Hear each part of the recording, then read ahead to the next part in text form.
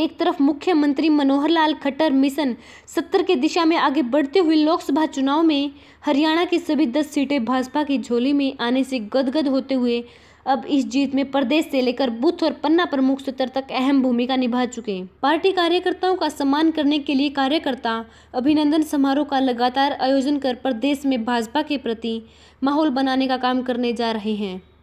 मगर ठीक दूसरी तरफ़ हरियाणा की राजनीति में ऐसी उथल पुथल होने जा रही है। शायद जिसका अंदाज़ा कांग्रेस को भी नहीं है। फ़िलहाल कांग्रेस में चर्चा यही चल रही है कि चार तारीख को क्या होगा। क्या प्रदेशाध्यक्ष पर फैसला होगा? क्योंकि सूत्रों का मानना है कि इस बार राहुल गांधी अपने सबसे विश्वास पात्र को प्रदेशाध्यक्ष बनाने की होड़ में लगे हैं। यही चर्चित चेहरा कौन है?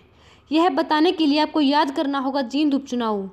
जी हाँ जींद उपचुनाव के दौरान हरियाणा कांग्रेस के दिग्गज नेता, जिसे कांटा निकल गया, समझ रहे थे। अब हो सकता है वही कांटा कांग्रेस के दिग्गज नेताओं को जोरदार चुभने वाला है।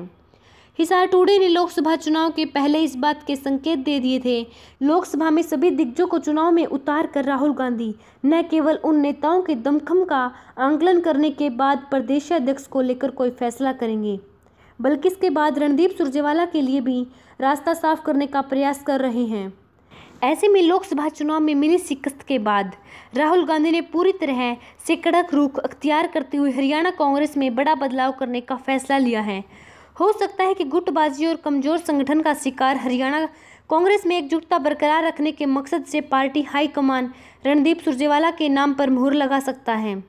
हो सकता है चार जून को दिल्ली में होने वाली बैठक में इस नाम पर मुहर लग जाए। हालाँकि दीपेंद्र हुड्डा कुलदीप बिश्नोई कुमारी सैलजा भी इस दौड़ में शामिल हैं। मगर अभी अंतिम निर्णय राहुल गांधी को ही लेना है। Bureau report Hisar today.